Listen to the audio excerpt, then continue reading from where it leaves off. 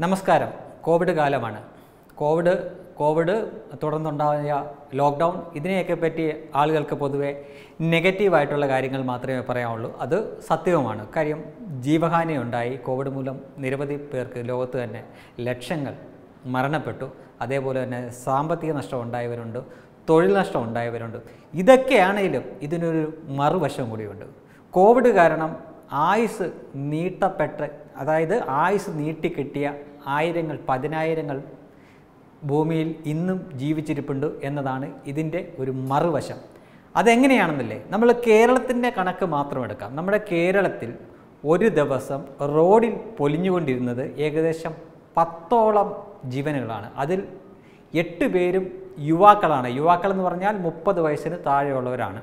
അതായത് റോഡ് അപകട റോഡ് അപകടങ്ങളിൽ കൂടെ കൊല്ലപ്പെട്ടുകൊണ്ടിരുന്നത് ഒരു ദിവസം ഏകദേശം പത്ത് പേരോളമാണ്. ചില ദിവസം ഇതിന് മുകളിൽ വരെ വരും. അതായത് തിരുവനന്തപുരം മുതൽ കാസർഗോഡ് വരെയുള്ള സ്ഥലങ്ങളിൽ നടക്കുന്ന റോഡ് അപകടത്തിൽ റോഡ് അപകടങ്ങളിൽ ഒരു ദിവസം കൊല്ലപ്പെടുന്നവരുടെ എണ്ണമാണ്. അതേപോലെ തന്നെ നമ്മളാരും വലിയ പ്രാധാന്യമൊന്നും കൊടുക്കത്തില്ല. ചില അത് ദുരന്തങ്ങൾ വരുമ്പോൾ മാത്രം അത് പത്രങ്ങളുടെ ഫ്രണ്ട് പേജ് ഒരു മുങ്ങി വരണം. പുഴയിൽ കുളത്തിൽ വെള്ളക്കെട്ടിലൊക്കെ മുങ്ങി മരിക്കുന്നത് കണക്ക് ഒരു വർഷം ആയിരം പേര് മുങ്ങി മുങ്ങി വരണം അതായത് മുങ്ങി മരിച്ചു കൊല്ലപ്പെടുന്നു എന്നതാണ് കണക്ക്. ശരിക്കും അതൊരു കൊല്ലപ്പെടുക തന്നെയാണ്. ചിലപ്പം ആ നീന്തൽ അറിയാൻ മേലാത്തവർ ഒരു ആവേശത്തിന് പുറത്തൊക്കെ അങ്ങ് ചാടി ഇറങ്ങും. അങ്ങനെ പിന്നെ അവരെ രക്ഷിക്കാൻ വേണ്ടി കൂട്ടുകാരെ ചാടി ചാടി ഇറങ്ങും. അങ്ങനെയൊക്കെയാണ് ഈ കൂട്ടമരണമൊക്കെ ഉണ്ടാകുന്നത് അപ്പോൾ അങ്ങനെ പത്തും മൂന്നും പതിമൂന്ന് പേരോളമാണ് ഒരു ദിവസം കേരളത്തിൽ മാത്രം ഈ- രീതിയിൽ കൊല്ലപ്പെട്ടുകൊണ്ടിരുന്നത്. നമ്മൾ ലോക്ക്ഡൗണിൽ വീടുകളിലെല്ലാവരും ഇരുന്ന സമയത്ത് റോഡ് അപകട റോഡ് അപകടങ്ങൾ എന്നത് സീറോ സീറോയായി മുങ്ങിമരണങ്ങൾ കേൾക്കാനില്ല. അപ്പോൾ അതിൽ തന്നെ ബഹുഭൂരിപക്ഷം ആളുകളും യുവാക്കളായിരുന്നു എന്ന് കാണാം. അപ്പം ഈ കൂട്ടത്തിൽ വാർത്ത വായിക്കുന്ന ഞാനും നീ കേൾക്കുന്ന നിങ്ങളിലുമൊക്കെ പലരും ചിലപ്പോൾ ഒരുപക്ഷെ അപകടങ്ങളിലൊക്കെ പെട്ടേക്കാമായിരുന്ന ആൾക്കാരാണ് നമ്മൾ ആ അങ്ങനെയുള്ളവർക്ക് അവരുടെ ആയുസ് നീട്ട നീട്ടിക്കിട്ടി എന്ന് കാണാം.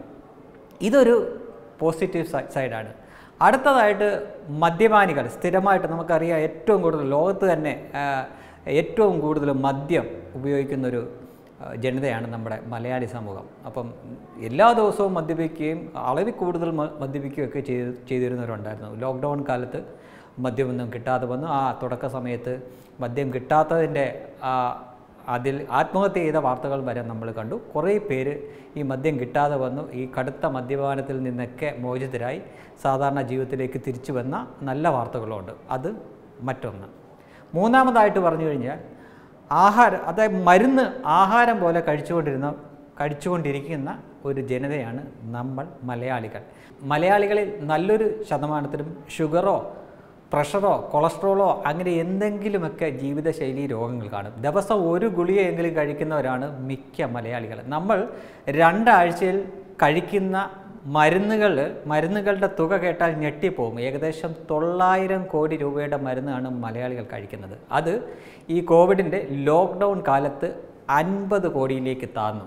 അതായത് ഈ എൺ എണ്ണൂറ്റൻപത് കോടിയുടെ മരുന്നുകൾ നമ്മൾ കഴിച്ചില്ലെങ്കിൽ കൂടിയും നമുക്കൊന്നും സംഭവിക്കാതെ അതാ- അതായത് സാധാരണ രീതിയിൽ തന്നെ പോകുന്ന രീതിയിൽ അത് ആ മരുന്ന് കഴിക്കാത്തതുകൊണ്ടുള്ള അപകടങ്ങളൊന്നും അധികം റിപ്പോർട്ട് ചെയ്യപ്പെട്ടിട്ടില്ല. ആ മരുന്ന് കഴിക്കുന്ന ശീലത്തിൽ നിന്നൊക്കെ മലയാളി കുറേ പേരെങ്കിലും മോചിതരായി. ആ മരുന്നിന്റെ ആവശ്യമില്ലാതെ തന്നെ അവർ ജീവിതശൈലി അവർ മാറ്റി അല്ലെങ്കിൽ വീട്ടിൽ നിന്നുള്ള വയ വ്യായാമങ്ങളും മറ്റു കാര്യങ്ങളൊക്കെ കൂടി ഇതിൽ നിന്ന് കുറേ പേര് മോചിതരായി. അപ്പം നമ്മളെ പല രീതിയിലും ചൂഷണം ചെയ്തുകൊണ്ടിരിക്കുന്ന പല മേഖലകളൊക്കെ ഉണ്ട്. അപ്പോൾ അതിലൊക്കെ ഒരു തിരിച്ചറിവ് നമുക്കുണ്ടായി. അടുത്തതായിട്ട് മെഡിക്കൽ എറർ അതായത് ഡോക്ടർമാർ ബോധപൂർവം വരുത്തുന്ന അല്ലാതെ അബദ്ധത്തിൽ പറ്റുന്ന മരണം കൊണ്ടായിരുന്നു. ഓപ്പറേഷനിടയ്ക്ക് മരുന്ന് മാറിക്കൊടുക്കുന്നത്. ഇതിന്റെയും കണക്ക് വളരെ വലുതാണ്. ലോകത്തെ മൊത്തം എടുത്താലും ഇന്ത്യയിൽ എടുത്താലും ദിവസവും നിരവധി പേരാണ് ഇത്തരം രീതികൾ അവരുടേതായിട്ടുള്ള കുറ്റം കൊണ്ടല്ലാതെ തന്നെ രോഗിയുടെ കുറ്റം കൊണ്ടല്ലാതെ എന്നാൽ മനഃപൂർവമല്ലാത്ത ഡോക്ടറുടെ കൈപ്പിഴ കൊണ്ടുണ്ടാകുന്ന മരണങ്ങൾ.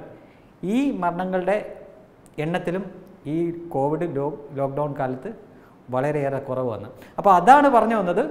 കോവിഡ് ഒരു സൈഡിൽ കൂടെ കുറേ പേരെ കുറേ ആളുകളുടെ ജീവൻ എടുത്തുകൊണ്ട് പോയി സ്വത്ത് എടുത്തുകൊണ്ട് പോയി തൊഴിലൊക്കെ എടുത്തുകൊണ്ട് പോയപ്പോഴും ഇതിന്റെ മറ്റൊരു സൈഡിൽ കോവിഡ് മൂലം തുടർന്നുള്ള ലോക്ക്ഡൗൺ മൂലം നമ്മൾ നൂറ് ദിവസം വീട്ടിലിരുന്നു എന്ന് കരുതുക മലയാളികൾ. ഏകദേശം ആയിരം ജീവനുകളാണ് രക്ഷപ്പെട്ട് കിട്ടിയത് അഥവാ നീട്ടപ്പെട്ട് കിട്ടിയത്.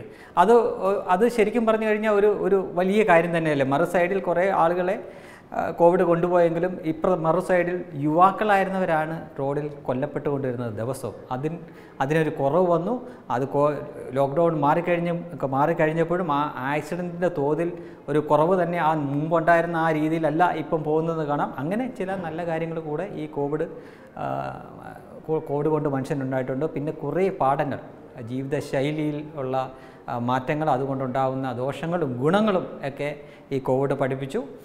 മദ്യപാനത്തിൽ നിന്ന് കുറേ ആളുകൾ മോചിതരായി.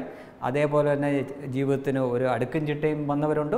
അതേപോലെ തന്നെ തൊഴിൽ തൊഴിലിന്റെ കാര്യത്തിലാണെങ്കിലും പുതിയ മേഖലകളിലേക്ക് ഒരു സ്ഥിരമായിട്ട് തന്നെ ഒരു ജോലി ചെയ്തുകൊണ്ടിരുന്നവർ അതിൽ നിന്ന് മാറി വൈറ്റ് കോളർ അല്ലാതെ തന്നെ ഏത് രീതിയിൽ ജോലി ചെയ്യാൻ ചെയ്യാനും തയ്യാറായിട്ടുള്ള ഒരു ജനത തന്നെ പുതിയതായിട്ട് വന്നു. അത് വലിപ്പ ചെറുപ്പമൊന്നും ഇല്ലാതെ വിദ്യാഭ്യാസമോ അല്ലെങ്കിൽ മറ്റു എക്സ്പീരിയൻസോ ഒന്നും നോക്കാത്ത നിരവധി ആളുകൾ മീൻ വിൽക്കാനും പച്ചക്കറി വിൽക്കാനും ഒരു ഒരു തൊഴിലും മോശമല്ല എന്ന അല്ലെങ്കിൽ എല്ലാ തൊഴിലിലും അതിന്റെ മാന്യതയുണ്ട് എന്നുള്ള രീതിയിലേക്ക് ജനങ്ങൾ പൊതുവായിട്ട് തന്നെ വലിപ്പ ചെറുവിൽ ചെറുപ്പമില്ലാതെ ഇറങ്ങി വന്നു. ഇതൊക്കെയാണ് കോവിഡിന്റെ കോവിഡ് കൊണ്ടുണ്ടായ ചില നല്ല വശങ്ങൾ. എന്ന് വെച്ചിട്ട് കോവിഡ് നല്ലതായിരുന്നെന്നും നമുക്ക് മനുഷ്യ മനുഷ്യർക്ക് ഇതെല്ലാം നല്ല കാര്യമാണ് ചെയ്തതെന്നല്ല ഇതിന്റെ അർത്ഥം. ഇതിന് ഇങ്ങനെയും ചില വശ വശങ്ങളുണ്ടോ എന്ന് മാത്രമാണ് നമ്മളെ ഇത് കാണിക്കുന്നത്. Web desk തത്വമേ news